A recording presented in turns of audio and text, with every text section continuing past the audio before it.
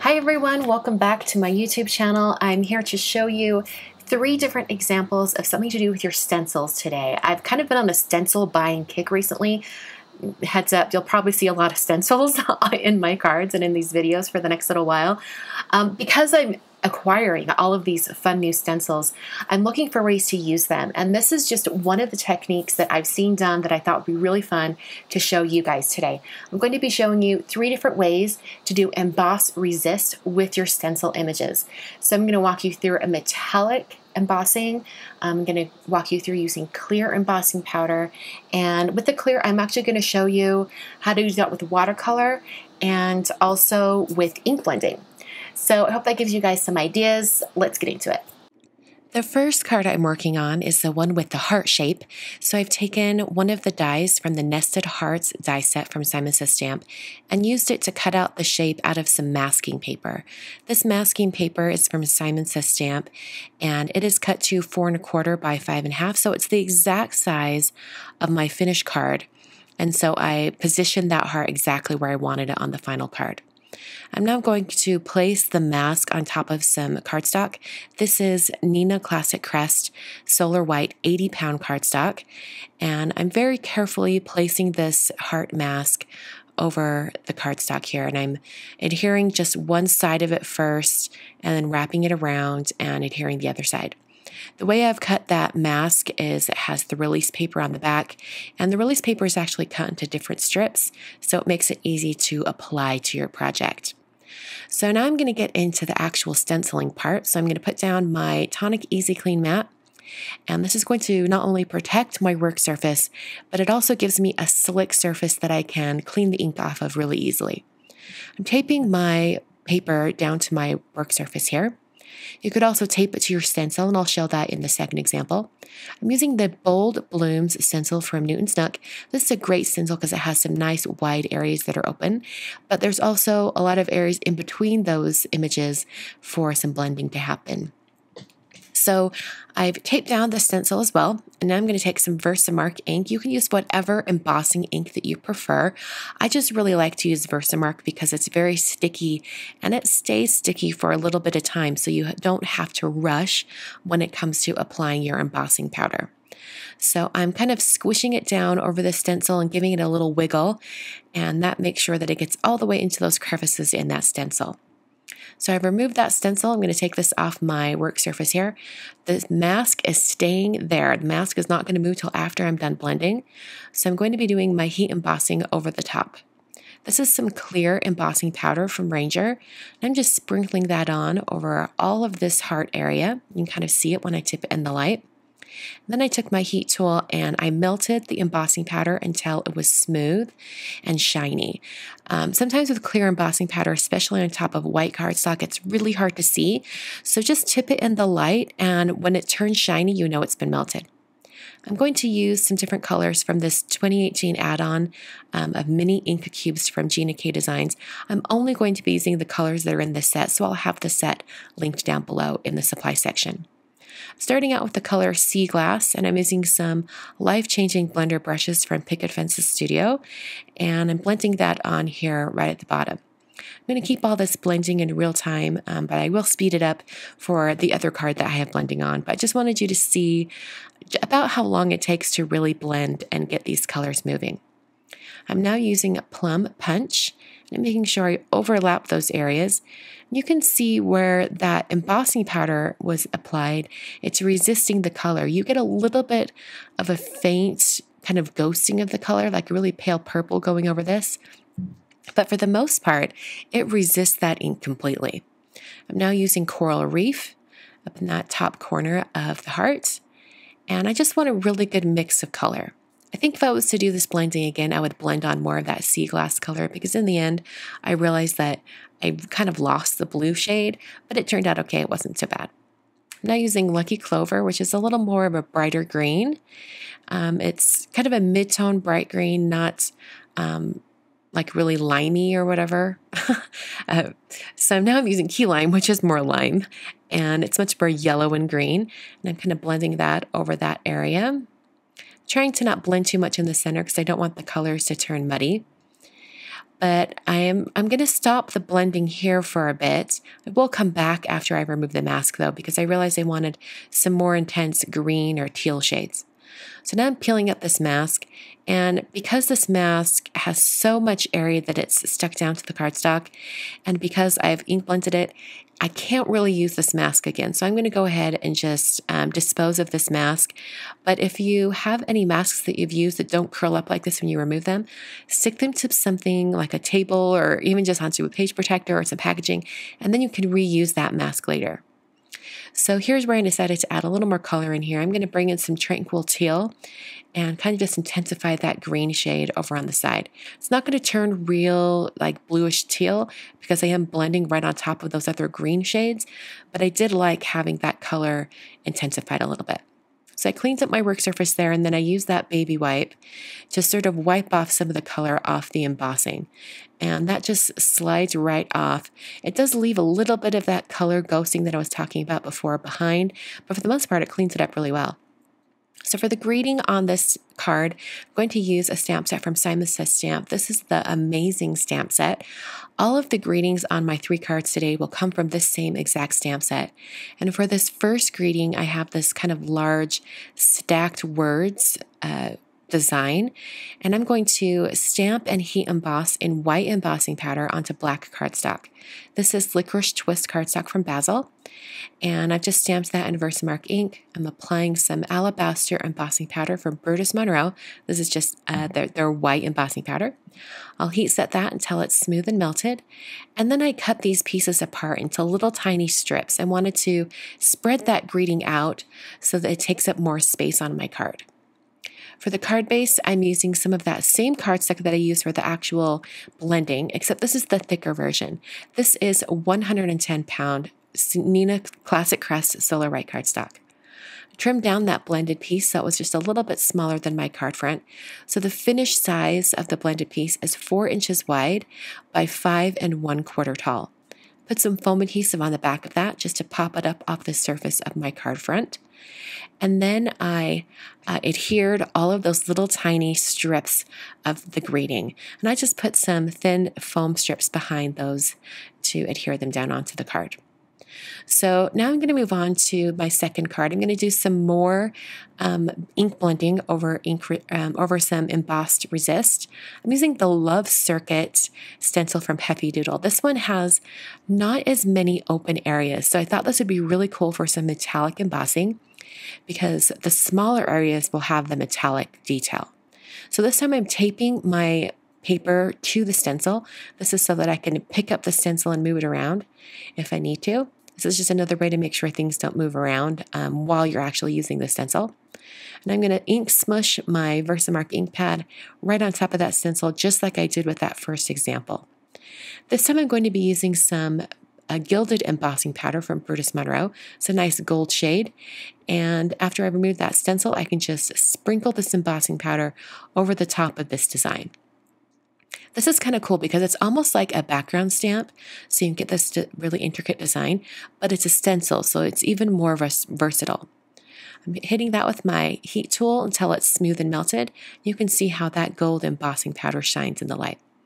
I'm now doing a bunch of ink blending like I showed you before. This time I'm blending um, from the outer edges of the cardstock. I'm starting with the color Key Lime and just bringing that in. My idea is to have the most intense color be coming from the heart shape in the center.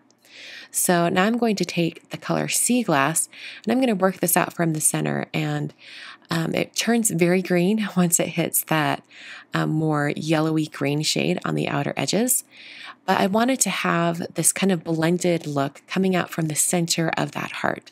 So I've sped up the video four times, so this is pretty speedy compared to the blending before. So it does take a little bit of time to do all this blending, but completely worth it because this really is the main focal area of the whole card design. So I'm going to switch to a more intense color. I'm going to switch over to Tranquil Teal, and I'm going to blend that out from the very center. And I'm trying to get that um, coming out, blending out. And I actually blend out quite a bit past the center.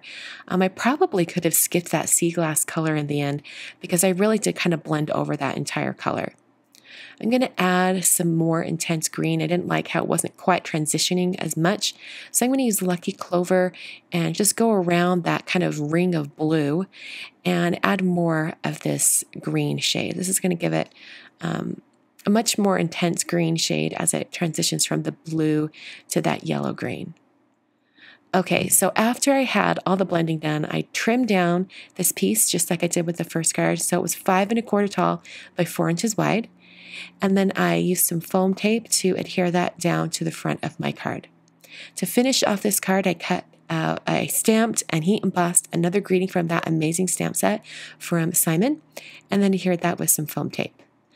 Okay, so for my third card, we're in the home stretch here, I'm going to do some watercoloring. So I've switched to watercolor paper, and I'm using the Leaves stencil from Simon Says Stamp. This watercolor paper is Strathmore, and I've taped down my stencil directly onto that watercolor paper, and I kind of went around the edges so that it would protect the paper while I add my Versamark ink on top doing that same kind of ink smushing and a wiggle coming down onto that stencil, making sure I get all those crevices on the stencil design. Now applying some more clear embossing powder from Ranger, heat setting that with my heat tool, and then I'm going to go right into kind of a watercolor technique, but I'm going to be doing some ink smushing. Starting out with the color key lime, smushing that down onto my work surface here. Once again, this is the Tonic Easy Clean Matte. It's a nice slick surface to do this technique. I then used Tranquil Teal and also some Plum Punch. And then I'm going to use some Coral Reef down here at the bottom. After I have these smushed onto my work surface, I'm going to take a spray bottle. This is the Distress Sprayer from Tim Holtz. I just sprayed all that ink so it was moving. And then I'm going to press my watercolor paper face down onto my work surface. And I'm going to walk my fingers over this and then kind of lift it up. You get this really fun watercolor effect. So I'm going to spray a couple of these areas to get the color moving just a little bit more.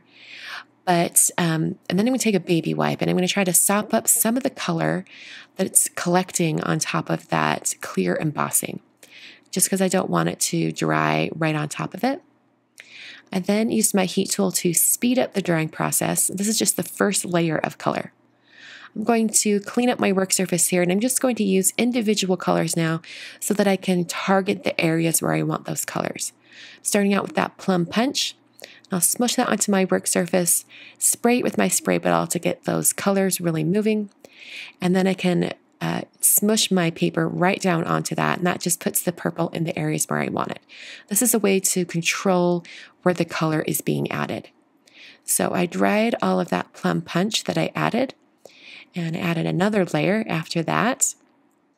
And then I moved on to Tranquil Teal. I'm going to add a little bit of blue to some areas where I think it needed a little more detail. The thing that's kind of cool about using inks for this, um, instead of watercolors or instead of distress inks, is that the inks from Gina K and from Simon and Laundromat things, um, those inks that really like dry back, they're waterproof inks.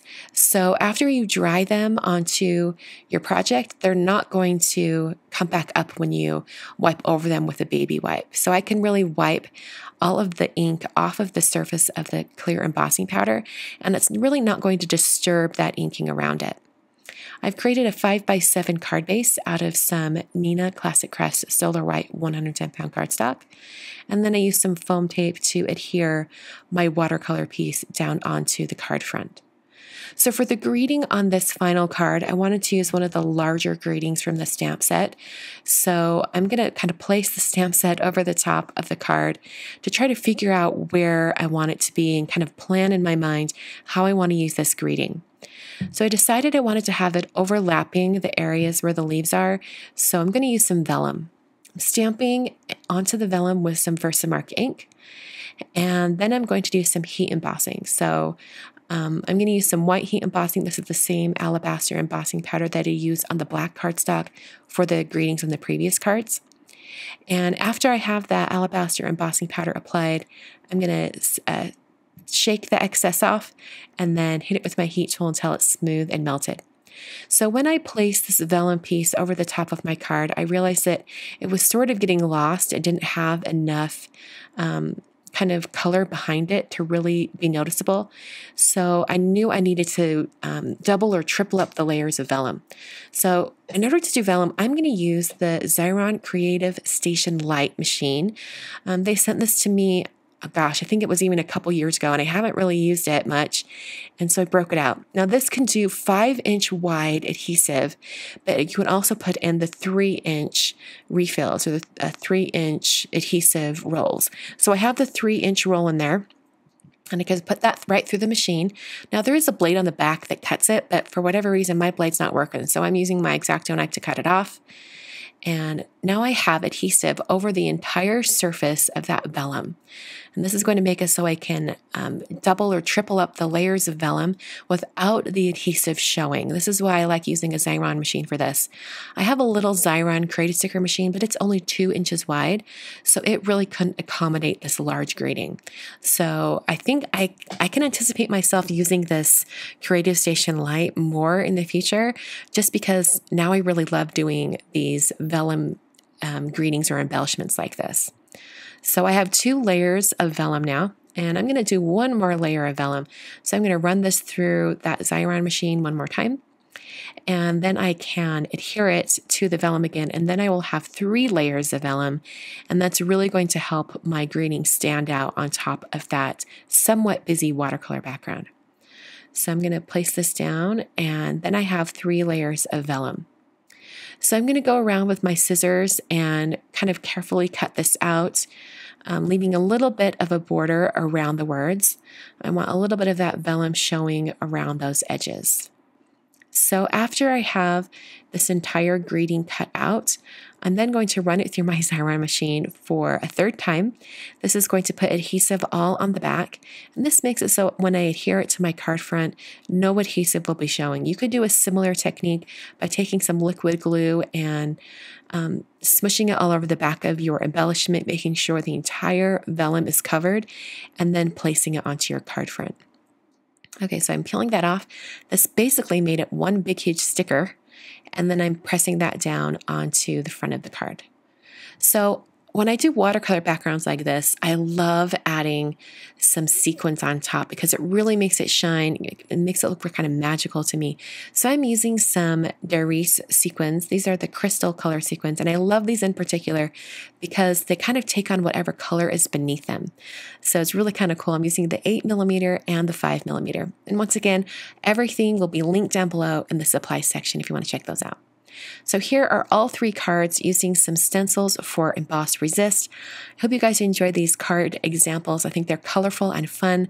And I also loved using those inks from Gina K Designs. Thanks so much for watching today. Just want to remind you that all of the supplies that I used today, including the stencils and the embossing powders and everything I've used today is listed down below in the video description in the supply section. And I've included links to online stores so you can find those items really quickly.